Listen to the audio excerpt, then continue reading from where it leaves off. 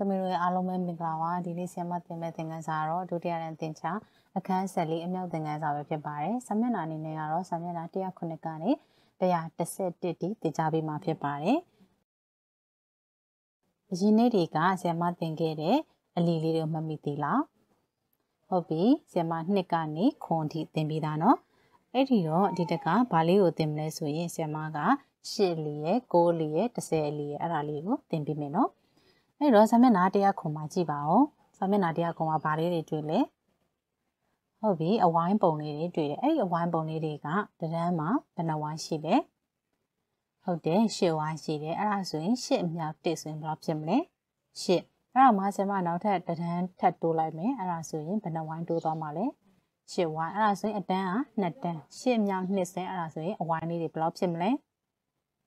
စัจ जा ဟုတ်ပြီအဲ့ဒါဆိုရင်ရှစ်မြောက်3ဆိုရင်ရော နောက်ထပ်အတန်းတန်းတိုးလိုက်ရင်ဘယ်နှဝိုင်းတိုးသွားမှာလဲ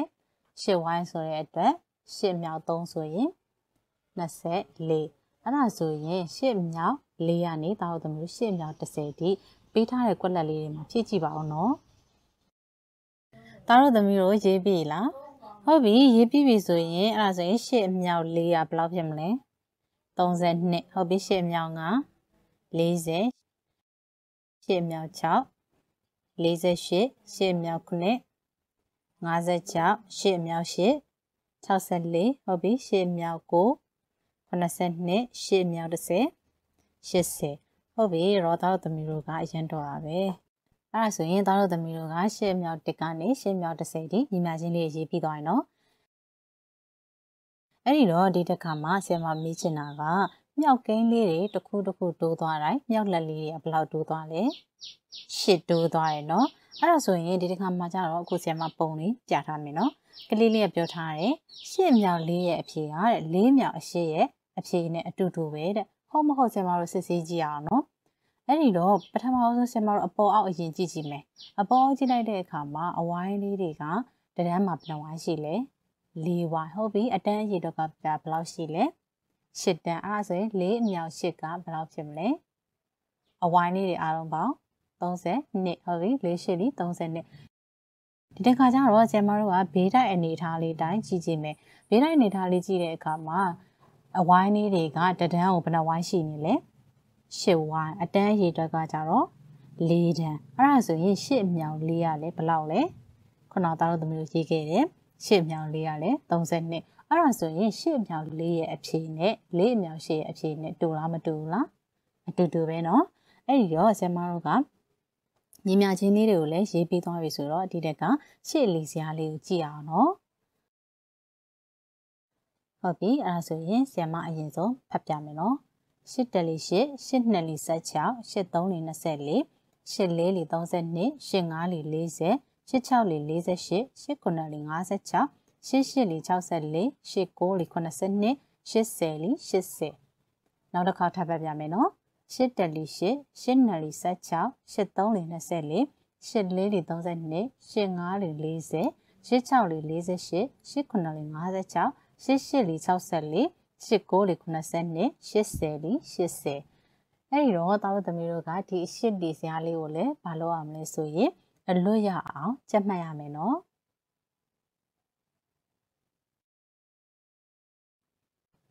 အဲဒီတော့ဇမကရှေ့လီစရာလေးကိုလည်းပြောပြသွားပြီဆိုတော့အခုစာမျက်နှာ108မှာရှိတဲ့ပု္ပ္ပစာလေးတစ်ပုဒ်ကိုဇမဖတ်ပြမယ်နော်ပင့်ကိုတကောင်မှာခြေတော်၈ချောင်းရှိတယ်ဟုတ်ပြီနော်ပင့်ကိုတကောင်မှာခြေတော်ဘယ်နှချောင်းရှိလဲ၈ချောင်းပင့်ကိုခုနှစ်ကောင်မှာခြေတော်အားလုံးဘယ်နှချောင်းရှိသလဲအဲ့ဒီတော့ပင့်ကိုတကောင်မှာခြေတော်လေးရဘယ်နှချောင်းရှိရလဲ၈ချောင်း ဟုတ်ပြီသူသိချင်တာကပင့်ကိုခုနှစ်ကောင်ရဲ့ခြေထောက်အားလုံးဘယ်နှချောင်းရှိသလဲဆိုတော့ဆရာမတော့ဘာနဲ့ဘာနဲ့မြောက်မလဲဟုတ်ပြီရှစ်နဲ့ခုနှစ်နဲ့ကိုမြောက်ပေးမယ်အဲ့ဒီတော့ရှစ်ခုနှစ်လီဘယ်လောက်ရမလဲဒါတို့သမီးတို့ဟုတ်တယ်56အဲ့ဒါဆိုရင်ပင့်ကူခုနှစ်ကောင်မှာခြေထောက်အားလုံးဘယ်နှချောင်းရှိလဲ56ချောင်းအဲ့လိုပဲစာမျက်နှာ108ကပဲ နံပါတ်26မှာဆိုရင်တဲ့ရှစ်မြောက်2ရဲ့အဖြေနဲ့ရှစ်မြောက်3ရဲ့အဖြေကိုပေါင်းရင်ဘယ်ကိန်းရမလဲအဲ့ဒီကိန်းရဖို့ရှစ်ကိုဘယ်ကိန်းနဲ့မြောက်ရမလဲတဲ့အဲ့တော့သားတို့သမီးတို့အဲ့ဒါလေးကိုစဉ်းစားကြည့်ပါဦးဆရာမပြန်ပြောပြမယ်နော်ရှစ်အမြောက်2ရဲ့အဖြေနဲ့ရှစ်အမြောက်3ရဲ့အဖြေကိုပေါင်းလိုက်ရင်ဘယ်ကိန်းရမလဲ အဲ့ဒီကိန်းရဖို့ရှစ်ကိုဘယ်ကိန်းနဲ့မြောက်ရမလဲတဲ့ဟုတ်ပြီသားတို့သမီးတို့စဉ်းစားကြည့်ပါဦးဟုတ်ပြီအဲ့တော့သားတို့သမီးစဉ်းစားပြီလားစဉ်းစားပြီးပြီဆိုရင်ဆရာမတို့ကရှစ်မြောက်2ရဲ့အဖြေနဲ့ရှစ်မြောက်3ရဲ့အဖြေဆရာမဘာလို့ကြည့်မလဲပေါင်းကြည့်ရမယ်ဟုတ်ပြီဆရာမဒီမှာပုံလေးလေးပေးထားရနော်ပေးထားရဆိုရတဲ့အတွက်အခုရှစ်မြောက်2ဆိုတာရှစ်နှစ်လေးဘယ်လောက်လဲသားတို့သမီးကို16ဟုတ်ပြီအဝိုင်းလေးတွေလည်း16ခုနော်ဟုတ်ပြီရှစ်မြောက်3ကကြတော့ဘယ်လောက်လဲ 83လေး24အဝိုင်းလေးတွေကလည်း24ပါအဲ့ဒါလေးကိုမှဆရာမတို့အဲ့အဖြေလေးနှစ်ခုဘာလို့ရမလဲပေါင်းရမယ်ပေါင်းမယ်ဆိုတော့ရှစ်ကလေးကတော့သူကတီကိန်းလေးဖြစ်တယ်နော်အတူတူပဲအဲ့တော့ဆရာမကတီကိန်းရှစ်ကလေးကိုဒီတိုင်းပဲထားလိုက်ပြီးတော့မြောက်ကိန်းလေးနှစ်ခုကမတူတဲ့အတွက်မြောက်ကိန်းလေးနှစ်ခုဘာလို့ရမလဲပေါင်းရမယ်အဲ့ဒါဆိုရင်နဲ့3နဲ့ပေါင်းရင်ဘယ်လောက်ရမလဲငါဟုတ်ပြီဟိုဘက်ကမြောက်လက်လေးတွေဖြစ်တဲ့16နဲ့24ပေါင်းဘယ်လောက်ရမလဲ40 ဟုတ်ပြီအဲ့ဒါဆိုရင်သူမေးထားတဲ့အဲ့ဒီကိန်းရဖို့ရှစ်ကိုဘယ်ကိန်းနဲ့မြောက်ရမလဲဆိုတော့ရပြီလားဟုတ်ပြီအဲ့ဒါဆိုဘယ်ကိန်းနဲ့တောင်းသမီးတို့မြောက်မလဲ9နဲ့မြောက်မယ်အဲ့ဒါဆိုရင်ဘယ်လောက်ရမလဲ40ဟုတ်ပြီအဲ့ဒါဆိုရင်8မြောက်2နဲ့8မြောက်3ရဲ့အဖြေကိုပေါင်းရင်ဘယ်လောက်ရမလဲ8မြောက်9ညီမျှခြင်း40 8 5လေး40ရမယ်နော်တောက်သမီးတို့နားလဲပါမလားတောက်သမီးတို့ကအဲ့ဒါဆိုရင်စာမျက်နှာ109မှာရှိရဲ့ ကိုးလီစရာပြုလုပ်ကြမယ်ဆိုတာလေးကိုကြည့်အောင်နော်ဒီတစ်ခါမှကျတော့အဝိုင်းလေးတွေကတဒန်းမှာဘယ်နှဝိုင်းပေးထားလဲကိုဝိုင်းဟုတ်ပြီနော်အဲဆိုရင်ကိုမြောက်တကဘယ်လောက်ဖြစ်မလဲကိုဟုတ်ပြီဆင်မကနောက်ထပ်အတန်းတန်းတိုးလိုက်မယ်အဝိုင်းလေးတွေဘယ်နှခုတိုးသွားမလဲကိုကိုအဲဆိုရင်ကိုမြောက်တကဘယ်လောက်ဖြစ်မလဲ18ဟုတ်ပြီအဲ့လိုပဲသားတို့သမီးတို့ကကိုအမြောက်3ကနေကိုအမြောက်10အထိဘာလေးတွေတိုးတိုးပြီးတော့သားတို့သမီးတို့ညီမချင်းလေးတွေရေးမလဲ ဟုတ်တယ်ကိုလေးတွေတိုးတိုးပြီးတော့ညီမချင်းလေးတွေရေးကြည့်မယ်နော်ပြီးရင်ဆရာမနဲ့အဖြေတိုက်မယ်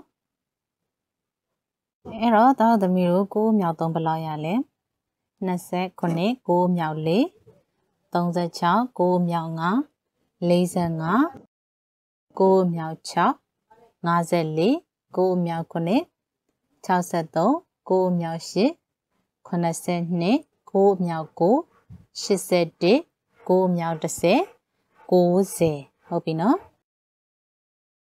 အခုသားတော်သမီးတို့က9မြောက်1ကနေ9မြောက်10ထိ9မြောက်10ထိညီမချင်းလေးတွေကိုရေးပြီးသွားပြီဆိုတော့အခုဆရာမပြောမှာကြတော့ဗာလေးလဲဆိုရင်သားတော်သမီးတို့ကြည့်ကြည့်ပါဦး9မြောက်1ညီမချင်း9ဟုတ်ပြီနော်အဲ့ဒါလေးကတော့တောက်သမီးတို့အခုမှသိတာ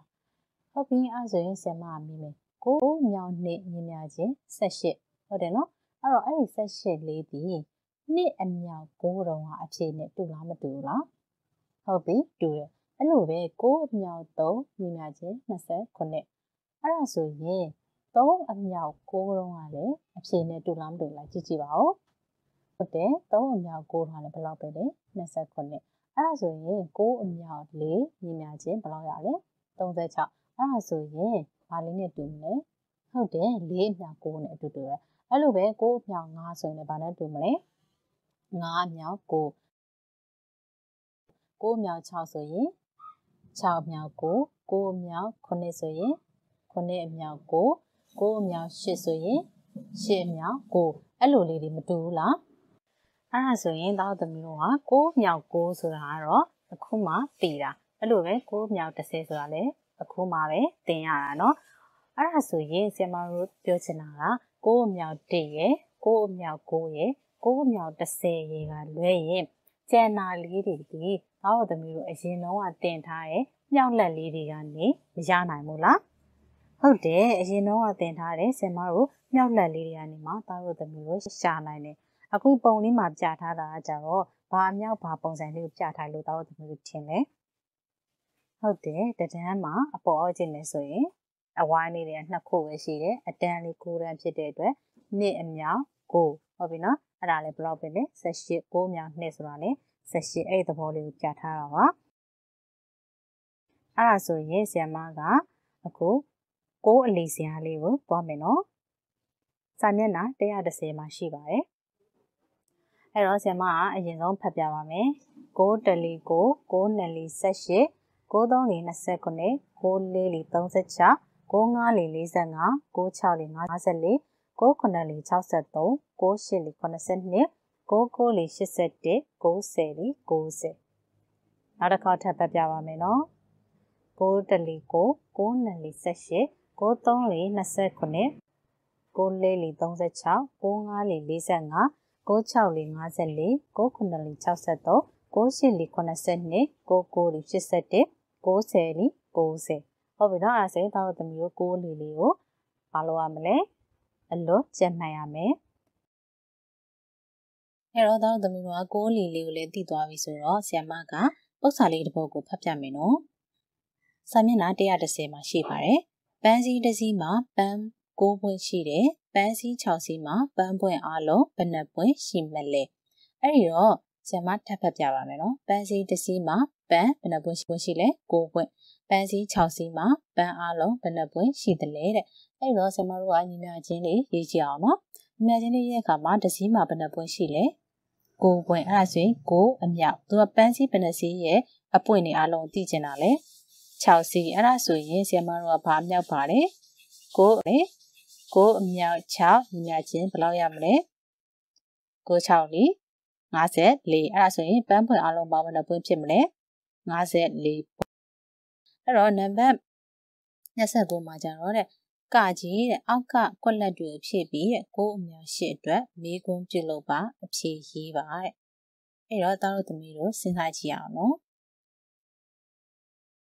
ဟုတ်ပြီအဲ့တော့သားတို့သမီးတို့စဉ်းစားကြည့်ပြီလား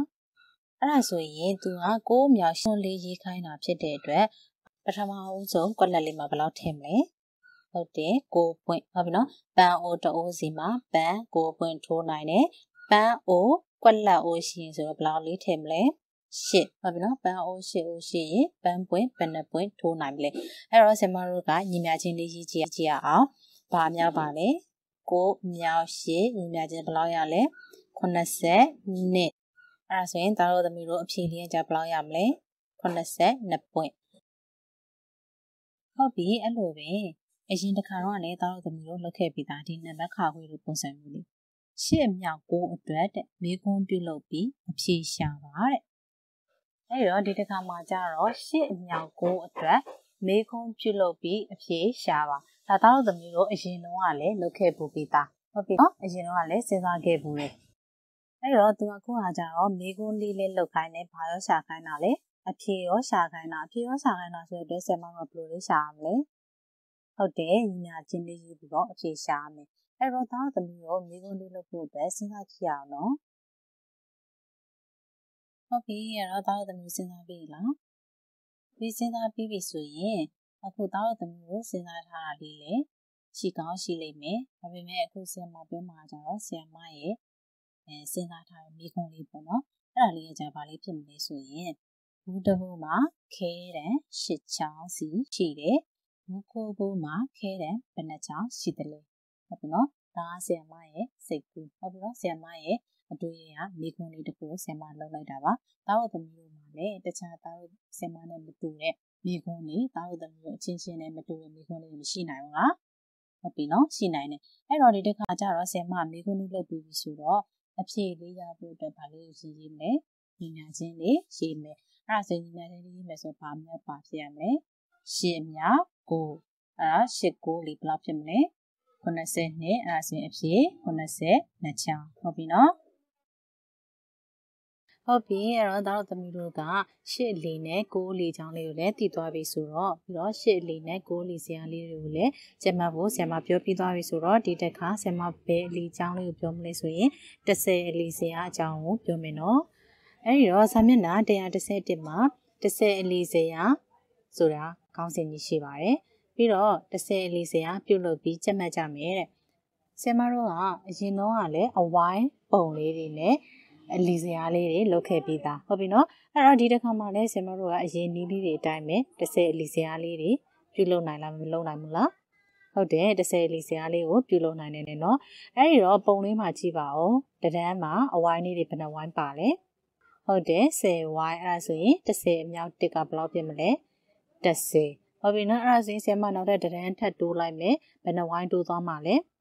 10ဝိုင်းအဲ့ဒါဆိုရင်ဆင်မတို့ကဘယ်လောက်ဖြစ်သွားမလဲအဝိုင်းလေးတွေအလုံးပေါင်း20ဟုတ်ပြီအဲ့ဒါဆိုရင်3တန်းဖြစ်သွားအောင်နောက်ထပ်ဆင်မတန်းတူးလိုက်မယ်အဲ့ဒါဆိုရင်ဘယ်နှဝိုင်းတူးသွားမှာလဲ10ဝိုင်းအဲ့ဒါဆိုရင်30အမြောက်3ကဘယ်လောက်ဖြစ်မလဲ30အဲ့ဒါဆိုရင်ဒီတိုင်းလေးပဲဆင်မက30စီ30စီ30စီတိုးသွားမှာဖြစ်တဲ့အတွက်30အမြောက်4ဆိုရင်ဘယ်လောက်ဖြစ်မလဲ 40ဟုတ်ပြီ30အမြောက်5ဆိုရင်50 30အမြောက်6ဆိုရင်60 30အမြောက်9ဆိုရင်80 30အမြောက်8ဆိုရင်80 30အမြောက်9ဆိုရင်90 30အမြောက်10ဆိုရင်ကြတော့100ပြီးအဲ့တော့ဆင်မကဒီတကအလီဇီယာလေးကိုပြောပြမယ်နော်ဆင်မဖတ်ပြပါမယ်10 တလီ30 12လီ20 13လီ30 14လီ40 15လီ50 16လီ60 19လီ80 18လီ80 19လီ90 10လီ100ဒါလေးကတော့လွယ်လွယ်လေးပဲเนาะတားတော်သမီးတို့မှတ်ရတာလည်းမခဲရဘူး30လီ30လီ30လီတိုးသွားမှာပြန်ဖတ်ပြမယ်เนาะ30တလီ30 12လီ20 13လီ30 14လီ40 15လီ50 16လီ60 19လီ80 18လီ80 19လီ90 10လီ100ဟုတ်ပြီနော်အဲ့တော့တားတို့သမီးတို့ကဒီလီစရာလေးကိုလွယ်လွယ်ကူကူနဲ့ကျက်မှတ်နိုင်လိမ့်မယ်လို့ဆင်မထင်ပါတယ်နော်အဲ့တော့ဆင်မကပု္ပ္ပာလေးတစ်ပုဒ်ကိုတွားကြည့်မယ်နော်ကိုမဘူးတဘူးစီမှာခဲတံ10ချောင်းရှိတယ်ကိုမဘူး၄ဘူးမှာခဲတံဘယ်နှချောင်းရှိသလဲ ဒါလေးကတော့လွယ်မယ်လို့ထင်ပါတယ်ညီမြချင်းလေးရေးကြည့်အောင်ကိုမဘူးတဘူးမှာခဲတံလေးတွေဘယ်နှချောင်းပါလဲဟုတ်တယ်30ကြောင့်အဲ့ဆိုရင်30အမြောက်သူကကိုမဘူးဘယ်နှဘူးရဲ့ခဲတံအရေးအတွက်ကိုသိချင်တာလဲ၄ဘူးအဲ့ဆိုရင်ဘာမြောက်ပါဖြစ်မလဲဟုတ်ပြီ30အမြောက်4ညီမြချင်းဘယ်လောက်ဖြစ်မလဲ40အဲ့ဒါဆိုရင်အဖြေဘယ်လောက်ရမလဲ46တောက်လို့သမီးကအရန်တော်တာပဲ ဟုတ်ပြီနောက်တစ်ခုကကြတော့ကလေးတယောက်စီကိုတဲ့တကြားလုံး30လုံးပေးတယ်ကလေး9ယောက်ရှိရင်တကြားလုံးဘယ်နှလုံးရမလဲအဲ့ဒီတော့ကလေးတယောက်ကိုဘယ်နှလုံးစီပေးမလဲဟုတ်တယ်30လုံးအဲ့ဒါ30အမြောက်ကလေး9ယောက်ဆိုတဲ့အတွက်ဘာနဲ့မြောက်မလဲ9နဲ့မြောက်မယ်အဲ့ဒီတော့30အမြ9ဆိုတဲ့အတွက်ဘယ်လောက်ဖြစ်မလဲ30 9လီ80အဲ့ဒါဆိုရင်တရားလုံးအလုံးပေါင်းဘယ်လောက်ဖြစ်ရမလဲ 80လုံးအဲ့ဒီတော့သားတို့သမီးတို့ကဒီနေ့ဆယ်လီစရာလေးကိုလည်းတည်သွားပြီလား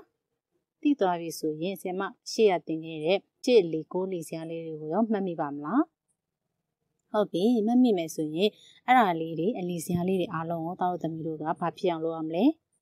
ဟုတ်တယ်အလွတ်ရအောင်ကြက်မှတ်ရမယ်နော်မှတ်လဲမှတ်ထားရမယ်အဲဒီတော့ဒီနေ့ဆရာမသင်မဲ့သင်ခန်းစာတော့ဒီလောက်ပါပဲနော်